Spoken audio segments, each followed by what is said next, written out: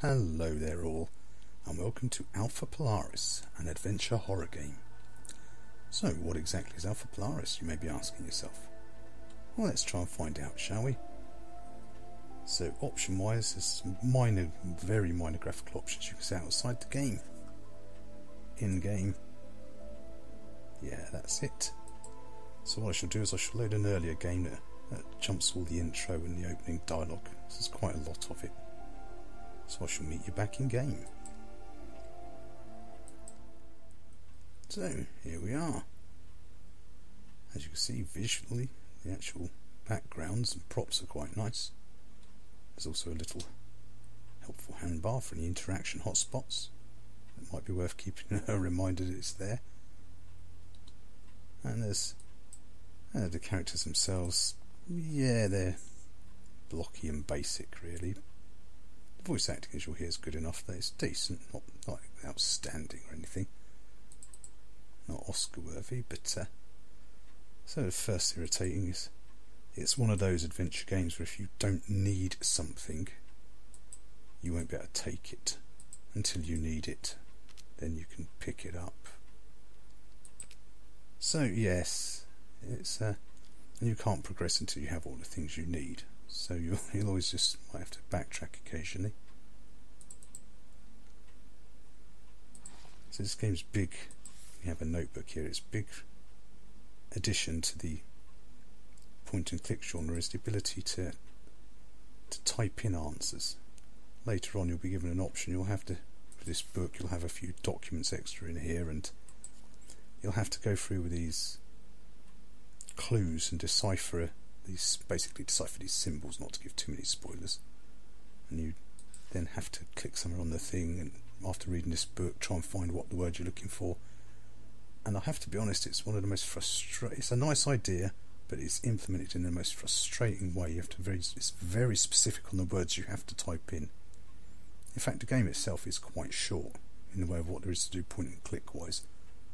Most of my playtime was just getting stuck on these sort of puzzles. I mean, I mean, one earlier on uh, in here, later on I have to track something. And I needed that. I didn't realise I hadn't picked up that triangulation device. I should have. In my fault, I admit. They they give me the tools to solve it. But it would have been good at that point for the game for him to give me an audio clue saying, "Oh, I need something else to use with this." To at least let me know I'd missed something. I spent a lot of time on that puzzle that because I'd forgot to pick something up. So it has those kind of problems that sometimes that point and click games do have. So it's uh, it's very dumbed down in some ways, and that you can't pick anything until you need it. But it, at the same time, it, when it should give you clues, it doesn't.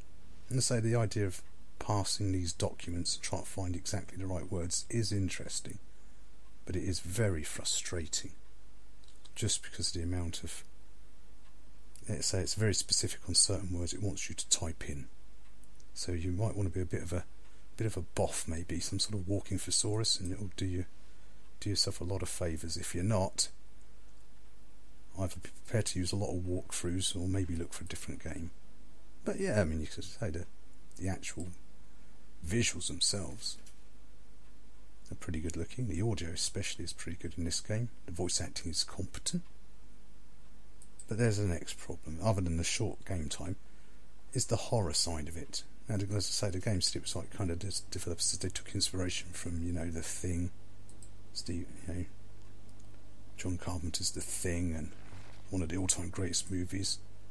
Horror set in the same sort of setting, almost instant no-brainer. Unfortunately, the actual horror bit itself, by the time anything horrible starts happening, or horror-based, the game's virtually over. And it has a super weak ending as well. I mean, it's not a terrible ending, but. Uh,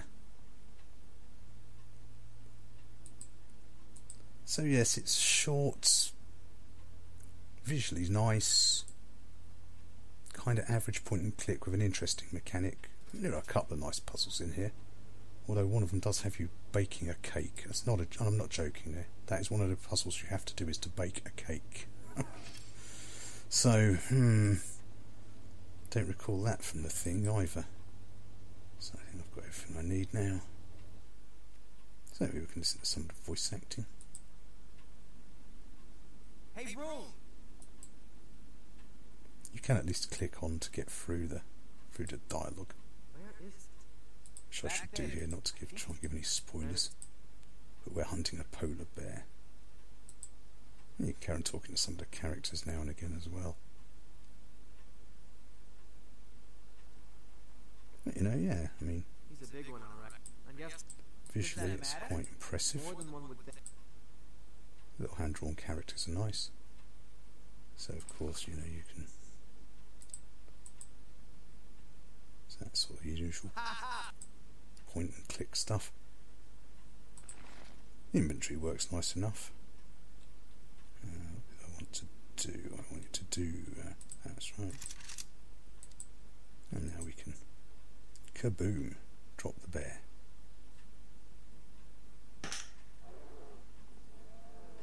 And there are a lot of cutscenes in between various parts of the game as well to tell the story. They're quite nicely done. It hit her right. But yes, you'll also have noticed that graphically, as nice as they are, you'll also notice that it's stuck in 1280 by 720, and that is the maximum resolution this game supports. Look at that. Which, for a game that came, that came out in 2012, is a It shouldn't be that bad. very strange backward step. So now we can do all the bear stuff and Careful. Relax. I don't think we can go till we've done this bit. So apologies for any spoilers. Uh, where was the bit I needed? Uh, that's it. Observe the bear. So the controls at least are smooth enough, or that they should be for a for a point and click. A fang. Look at the dark spots on the.